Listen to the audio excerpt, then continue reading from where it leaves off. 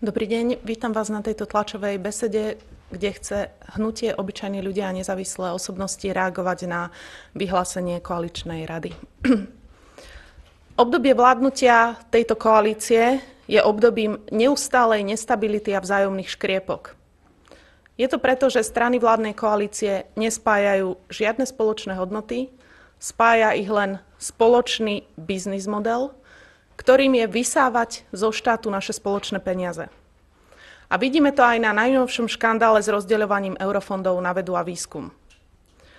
Slovenská národná strana chcela pokutným spôsobom rozdeliť viac ako 600 miliónov eur, ktoré boli určené na vedu a výskum. Chcela to rozdeliť rôznym čudným firmám a obrať tak vzdelávanie o veľkú časť investícií do našej budúcnosti. Za túto krízu si môžu koaliční partnery sami.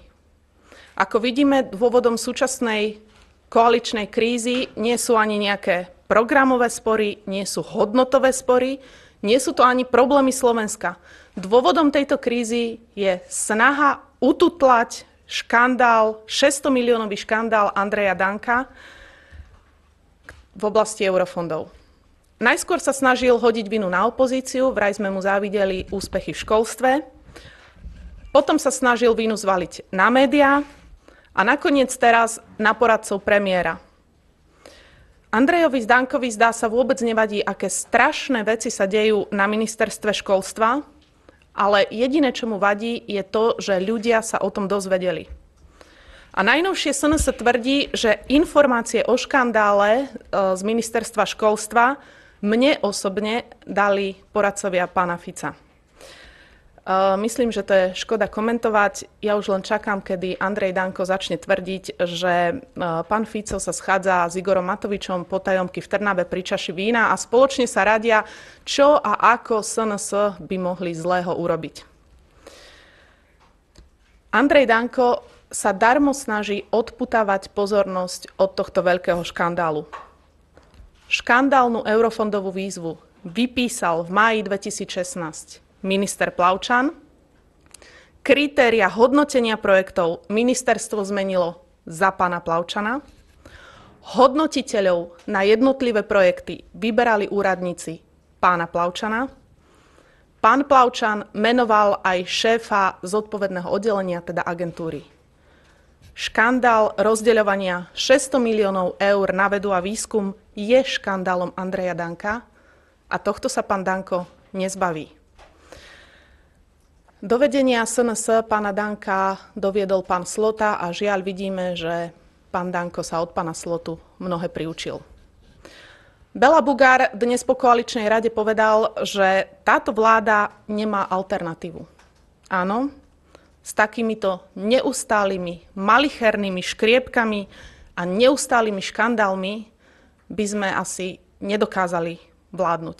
To, čo, robí predvá- to, čo predvádza súčasná vládna koalícia, Takto by sme to my nikdy nerobili. Bez ohľadu na to, či sa súčasná vláda bude potácať od krízy ku kríze rok alebo dva, ja pevne verím, že ľudia sa vo voľbách rozhodnú, že chcú lepšie spravované Slovensko, že chcú zodpovedných politikov a že chcú politikov, ktorí nebudú kradnúť. Zahnutie obyčajní ľudia a nezávislé osobnosti môžem zodpovedne prehlásiť, že sme pripravení súčasnú vládnu koalíciu vymeniť a robiť veci spravodlivo a čestne. Ďakujem, môj kolega Gabor Grendel.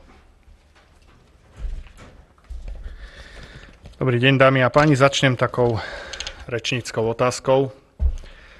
Takto vyzerá silná a stabilná vláda, ktorá nemá alternatívu, že dvaja z troch koaličných lídrov sa musia schovávať pred verejnosťou? Nie, takto sa správajú malé deti, ktoré keď si zavrú oči, tak si myslia, že ich nikto nevidí. Ešte včera Andrej Danko odkazoval, že je schopný ísť na hranu. Dnes sme sa dozvedeli, že tou hranou je tak maximálne hotel Bôrik. Ešte včera Andrej Danko spomínal koniec v politike. Dnes sme sa zrazu dozvedeli, že táto koalícia nemá alternatívu. Čom je teda táto koalícia taká nenahraditeľná? Je silná a stabilná? No nie je. Hneď na začiatku sa zo štvorkoalície scvrkla na trojkoalíciu. Funguje táto koalícia harmonicky? Preto je taká nenahraditeľná? No nefunguje. Videli sme to pri URSO, pri koncesionárskych poplatkoch a vidíme to aj teraz. Má táto koalícia skvelých odborníkov na ministerstvách? No nemá. Asi nemusím menovať, na ktorých ministerstvách sú šéfovia rezortov zrelí na výmenu. Jediná vec, v ktorej je táto koalícia skutočne nenahraditeľná, je tolerovanie vzájomných škandálov. V tomto naozaj nemá táto koalícia alternatívu. A čo sa týka Andreja Danka, tak ten dokáže napínať svaly tak maximálne, keď treba riešiť horálky, trička alebo pokutovať Igora Matoviča. Ako náhle sa postaví z oči v oči Robertovi Ficovi, vtedy Andrej Danko vždy spolahlivo sklopí uši.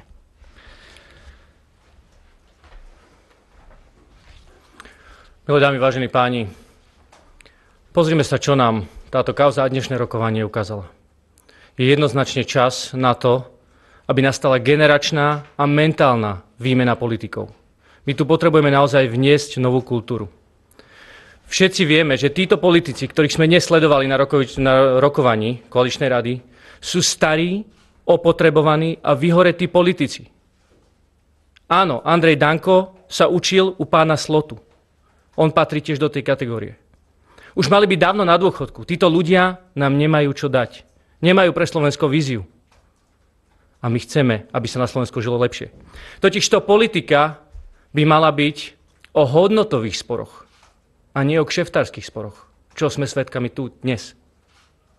Dojednávajú sa tu o tom, kto aké ministerstvo bude mať a kto k akým fondom sa dostane. My však chceme vidieť, aby sa politici bavili o riešeniach a o hodnotách, ktoré na Slovensku budú, ktoré posunú Slovensko dopredu. Na Slovensku je mnoho mladých, ale aj múdrych, šikovných ľudí, ktorí už niečo dokázali. Vidíme to aj v oblasti vedy a výskumu. Vidíme výskumníkov, ktorí odišli do zahraničia, lebo sa nevedeli na Slovensku uplatniť a odkazujú Slovensko, že pokiaľ to takto pôjde ďalej, tak sa ani nevrátia. Takýchto ľudí je o mnoho viac. Slováci vyjdú do zahraničia a sú úspešní. Týchto ľudí potrebujeme mať doma. Potrebujeme, aby študenti neodchádzali do zahraničia po škole. Potrebujeme, aby sa vrátili tí, ktorí tam sú, aby investovali do vlastnej krajiny. Aby investovali do Slovenska. Lenže pokiaľ budú tu títo štandardní, opotrebovaní, vyhoretí politici, tak ich sem nič neprivedie späť. A toto potrebujeme zmeniť. Je čas na generačnú výmenu a zároveň mentálnu, pretože títo starí politici nám novú mentalitu, novú politi- kultúru politiky neprinesú. A to vidíme. Vidíme to, ako čo teraz predvádzajú.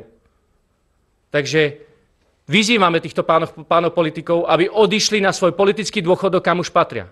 Vaše sily sa minuli, Dajte priestor šikovným, múdrym ľuďom, ktorí už niečo na Slovensku dokázali. My takýto priestor v našom hnutí ľuďom dávame a toto je aj náš odkaz pre Slovensko, že budeme bojovať tak, ako bojujeme aj v tejto kauze. Budeme bojovať za to, aby Slovensko malo dobré riešenia pre svoju budúcnosť. Aby ľudia v tejto krajine mali budúcnosť. Ale v tejto krajine, doma, na Slovensku. Ďakujem.